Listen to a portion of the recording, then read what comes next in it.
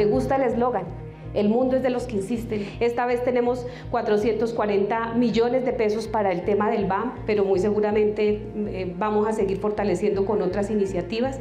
Y si uno no insiste y trata mucho como de sacar adelante sus ideas, realmente no hay nada. Y este momento del país necesita que lo contemos. El cine es el patrimonio audiovisual. Pues estos encuentros son sensacionales. Queremos que, que se den muchos más en la región.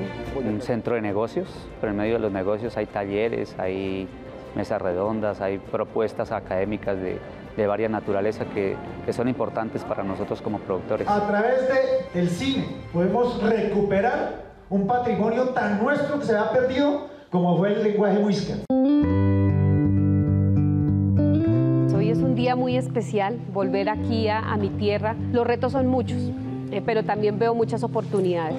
El primer reto, la conectividad, es una deuda que tenemos eh, en Colombia y pues no solamente está en Boyacá, sino en todo el país.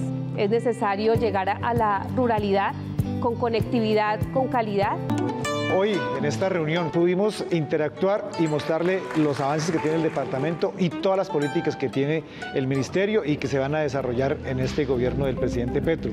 Fundamentalmente desarrollar temas especiales para disminuir las brechas en conectividad, en acceso a la tecnología, tanto en lo urbano, lo rural. Agradecer también a Telefónica y al ministerio por ser el gestor de esta iniciativa de llevar SIM-CAR conectividad a los consejeros eh, municipales. Tenemos 900 SIM cards que serán entregadas a cada uno de los consejeros municipales y departamentales para garantizar que se sigan realizando las sesiones de manera virtual en cada uno de los municipios que hacen parte del departamento de Boyacá. Me siento muy honrada de contar pues, con la presencia de mis amigos, mi familia y todos mis demás paisanos que se tomaron un momento para venir a acompañarme.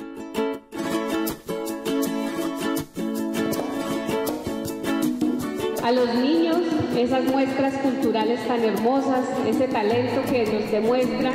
Y lo que les quiero decir a todos es que soñar en grande se vale.